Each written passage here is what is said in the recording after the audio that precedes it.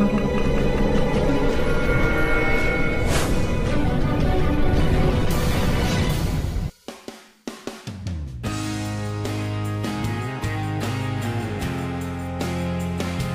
alasan Timnas Indonesia U20 bakal kalahkan Timnas Guatemala U20 Nomor satu buat Sintayong senang.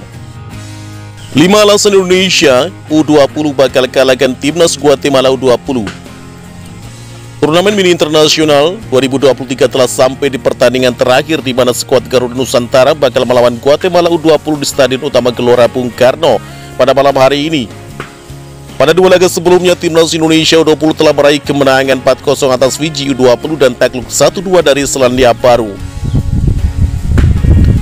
Berikut ini adalah 5 alasan Timnas Indonesia U20 bakal kalahkan Timnas Guatemala U20. 5. Main di kandang sendiri Pada saat melawan Selandia Baru 20, Timnas Indonesia U20 mendapat keuntungan dengan dukungan dari para supporter. Hal yang sama akan terlihat saat Hoki Caraka dan kawan-kawan menyambut Guatemala U20 di Gelora Bung Karno. Kehadiran supporter jelas akan menambah kepercayaan diri dan mental para penggawa timnas Indonesia. 4. Banyak pencetak gol Selama turnamen mini internasional 2023, timnas Indonesia U20 telah mencetak 5 gol. Menariknya, kelima gol itu datang dari pemain yang berbeda, semua dan dari berbagai lini. Dari striker seperti Hoki Caraka sampai Muhammad Ferrari yang merupakan back tengah bisa mencetak gol sehingga Sintayong layak memanfaatkan hal tersebut. 3. Sintayong sudah siapkan strategi. Sintayong sudah mengevaluasi apa-apa saja kekurangan dari timnas Indonesia U20 usai takluk 1-2 dari Selandia Baru U20.